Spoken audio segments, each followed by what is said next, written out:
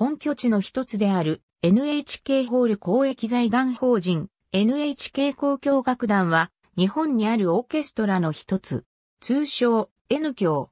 所在地は東京都港区高輪2丁目16番49号。公益社団法人日本オーケストラ連盟正会員。この絵秀丸らによって設立された新交響楽団が源流である。公益財団法人であり、日本放送協会からの出向者が歴代の理事長を務めている。2016年4月26日現在の理事長は森重夫。NHK から受信料を財源に14億円の交付金を受け、楽団側は演奏の放送などで事業に協力している。その他に民間各社からも支援を受けている。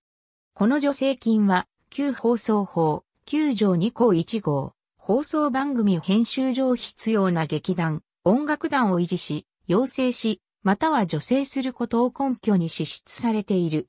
この考え方は、現放送法20条2項6号、全項の業務に付帯する業務を行うことに引き継がれている。NHK は別途、東京放送管弦楽団など放送用、専属オーケストラを主要放送局ごとに持っており、紅白歌合戦などの歌番組や娯楽番組で NHK 交響楽団が演奏することはない。月に3つのプログラムが2公演ずつ、6公演開催される。現在、NHK 交響楽団では、この2公演ずつを1回として定期公演の回数に入れている。7月、8月、3月は定期公演が開催されないため、年間27回54公演が定期公演として開催されている。B プログラムは音響の良いサントリーホールで開催されるため人気がある。そのため、定期会員券も年間会員に限られ、また座席数も NHK ホールに比べて格段に少ないこともあり、一回券として発売される枚数も少ない。なお、2022年6月まで NHK ホールの改修工事が行われるため、2021から22シーズンの AC プログラムは東京芸術劇場で開催される。演奏は海外にも配信される。CD 録音は公共放送のオーケストラという性格上あまり積極的ではなかったが、近年はライブ録音を中心にリリースも目立ってきている。販売はスタジオ録音は各レコード会社が発行、発売、ライブ録音は NHK サービスセンター発行、各レコード会社が発売するという形態をとっている。定年退職した団員を中心に構成された N 教団友オーケストラもあり、演奏活動を行っている。伝統的にドイツ・オーストリア系音楽を主なレパートリーとし、歴代の名誉指揮者もほとんどがドイツ圏の出身者か地盤とする指揮者であったが、フランス語圏スイス生まれのシャルル・デュトワを常任指揮者に迎える大転換の後は色彩感の豊かな柔軟な音色を持つようになった。放送交響楽団としての性格も有することから多様な作品の演奏を求められ、クラシック音楽以外にも劇友音楽やゲーム音楽を演奏するなど、ジャンルは幅広い。NHK 大河ドラマのテーマ音楽を毎年演奏しているほか、アニメ、科学忍者隊、ガッチャマンの劇場版やシリウスの伝説、テレビゲーム、ドラゴンクエストシリーズの BGM のオーケストラ演奏も行い、多数のサウンドトラックアルバムをリリースしている。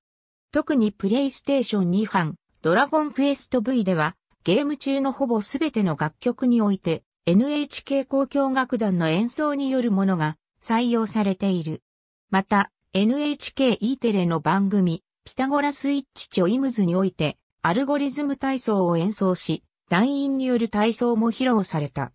アナログ時代の日本テレビクロージング、鳩の休日も演奏していた。は、定期公演の回数を示す設立初期、約40年間にわたって、ジョセフ・ローゼンストックが専任、常任、名誉指揮者を務めていた。常任指揮者制度は1965年で廃止されたが、1996年にシャルル・デュトワが常任指揮者になり復活した。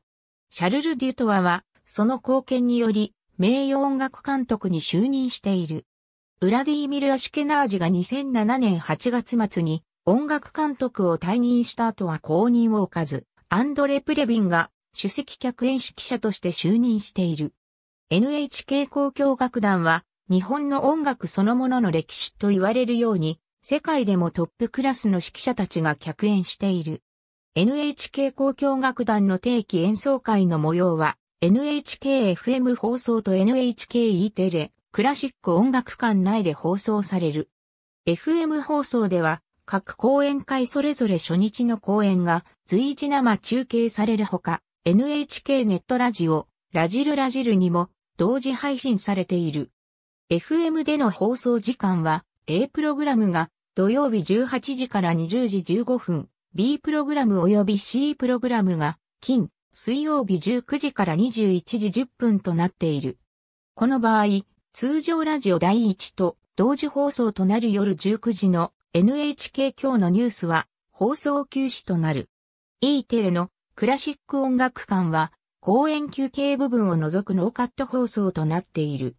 定期演奏会以外では年末恒例となっているベートーベン第9演奏会の模様が例年まず FM で生放送され、その後 E テレで順次放送される。